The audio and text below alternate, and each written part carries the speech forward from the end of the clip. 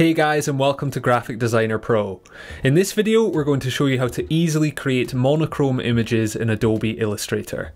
Let's head onto the computer now and get started. Okay so here we are in Illustrator and as usual guys you can download this exact same template file from the link in the description and try these techniques out for yourself. So we're going to be creating monochrome images and if you're not familiar with that term all it means is an image that's made up of only black and white or black and white plus one colour. So would essentially be shades of a single colour. So this is very simple to do in Illustrator. We've just got two RGB JPEG images here that are obviously full colour and we'll show you why we've got two of the same image as we go through. But the first thing we need to do is make these black and white and this is very easy to do. So I'm just going to select the first one, go up to Object, Rasterize and then from the colour model drop down we want to select Grayscale. Now all I need to do is click OK and that's going to convert our colour image to black and white. So this is now essentially a monochrome image. You can do the same with the other one here. So to apply a color to these now, this is also very easy to do. What I'm going to do is grab my rectangle tool and just drag out a rectangle to the same width and height as each of the images. And now I'm going to select a bright color for the one on the left hand side. So I'm just going to double click on my fill option here and I'll choose a light blue color for this example, go something like that. And I want to send this to the back. So I want this to be behind the image. So I'm just going to right click,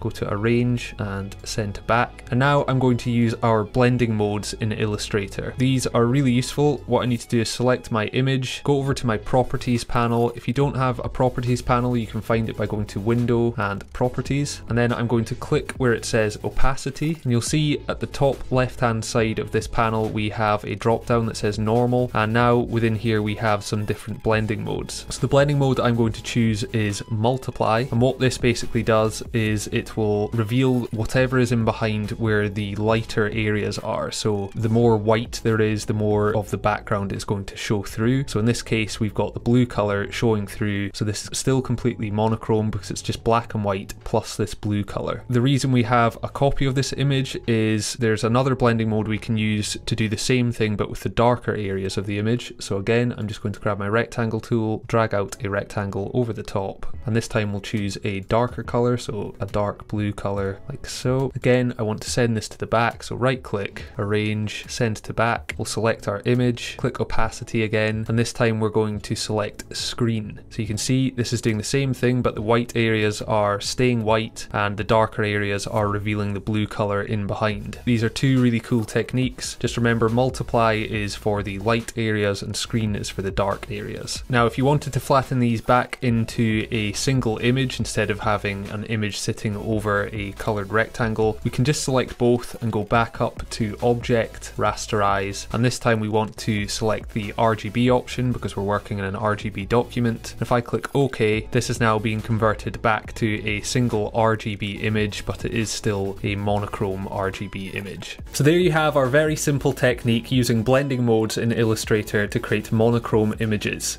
If you have any questions, do let us know in the comments down below, and if you enjoyed the video, remember to hit the like button. If you haven't already, subscribe for more weekly design content, and if you'd like to know more about our full graphic design course, visit graphicdesignerpro.com. See you next time.